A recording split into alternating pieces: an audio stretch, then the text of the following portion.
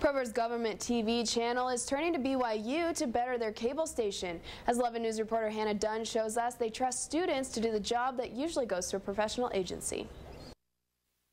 In order to improve programming, Channel 17 needs to find out their demographics, who watches the show, and why.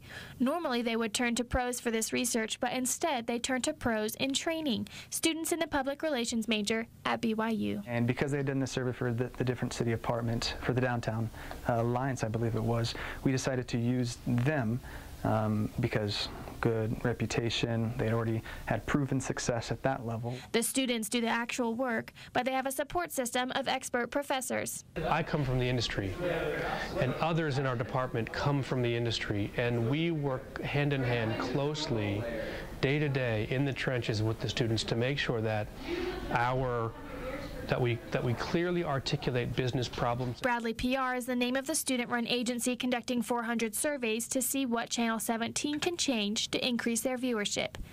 Bradley PR students are conducting this survey by computer and also by calling through the phone book.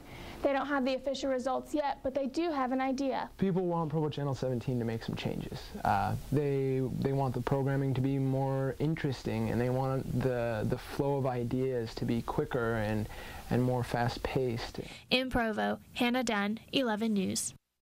Bradley PR says they're almost done with the research and Channel 17 will have the data by the end of the year. Then they can decide what changes to make.